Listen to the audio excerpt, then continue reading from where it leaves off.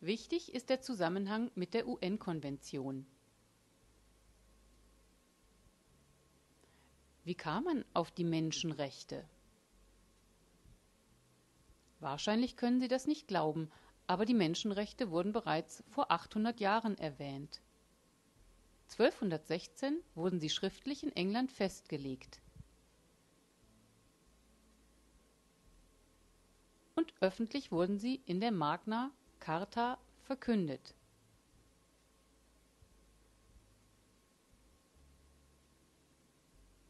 Nun freue ich mich über die Diskussionsteilnehmer.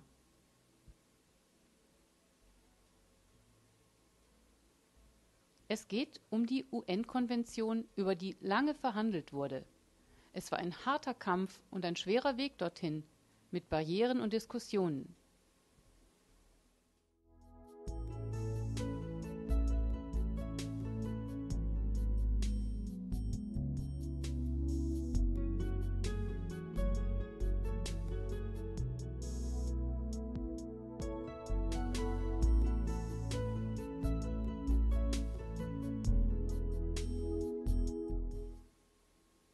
Das Thema UN-Konvention ist Neuland für uns alle. Klar, bis jetzt hat man sich auf die Ratifizierung konzentriert. Jetzt folgt die Umsetzung. Da sind diese Fachleute gefragt. Und wie? Hörende Politiker wissen in diesem Zusammenhang nichts darüber, was in der UN-Konvention spezifisch zum Thema Behindertenrecht steht. Die UN-Konvention wurde ratifiziert. Nun sind die Länder an der Reihe, diesen Vorgaben zu folgen. Ein Beispiel ist die Anerkennung der Gebärdensprache. Darüber wurde in ganz Europa bezüglich der Ratifizierung lange diskutiert. Meiner Meinung nach sollte diese Diskussion beendet werden, denn die Länder müssen laut Konvention die Gebärdensprache anerkennen.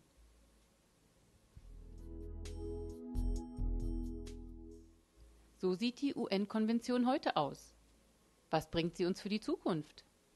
Ich habe heute schnell im Internet recherchiert und dabei festgestellt, dass bereits 25 Länder sie ratifiziert haben, wie auch Herr Sondergaard erwähnt hat.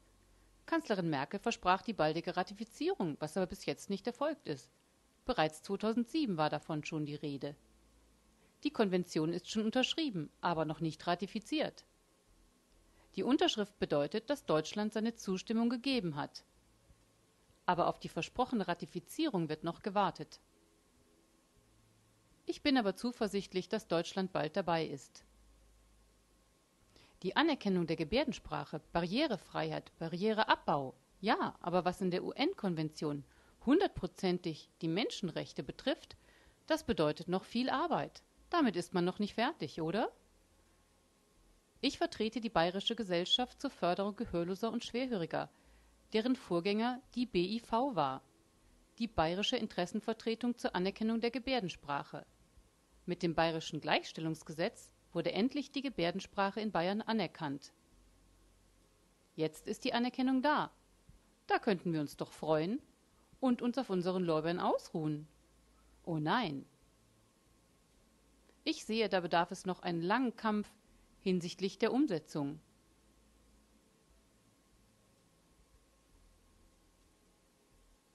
Es war interessant zu erfahren, dass Menschenrechte, individuelle Rechte, die Europäische Charta, Bildung für Eltern, für Kinder etc. schon bestehen. Viele Papiere, Chartas und Verträge sind stapelweise vorhanden. Überall steht, dass Kinder in allen Belangen eigene volle Rechte haben. Doch die Umsetzung ist schwierig.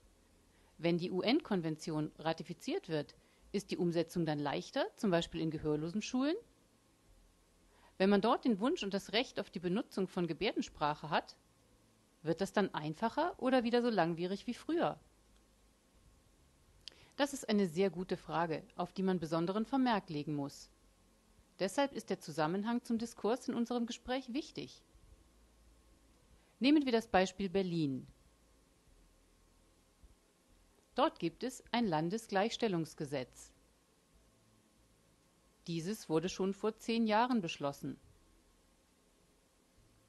Paragraph 10, einer dieser Artikel, besagt, alle Lehrer in gehörlosen Schulen müssen bis Dezember 2007 Gebärdensprache lernen. Und das steht festgelegt im Gesetz.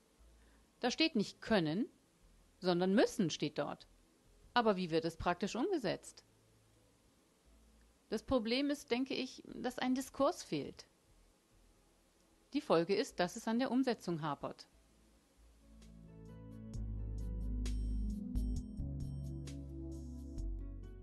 Ob die UN-Konvention verbindlich oder unverbindlich ist, ist noch nicht klar. Ist sie verbindlich, muss dem ohne Wenn und Aber gefolgt werden. Ist sie unverbindlich, kann man das selbst ergänzen.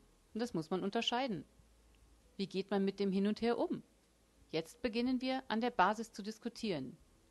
Wenn es später zu einem Umdenken kommt, kann man kompetente Leute dazu holen.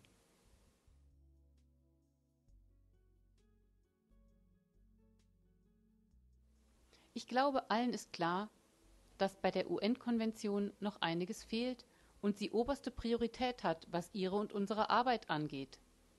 Oberste Priorität heißt, sich zu überlegen, wie wir die Fachleute unterstützen können bei der Umsetzung und was unsere Vorstellungen von Behindertenrechten sind. Die Menschenrechte beinhalten Gebärdensprache, Bildung, Kultur und soziale Kompetenz.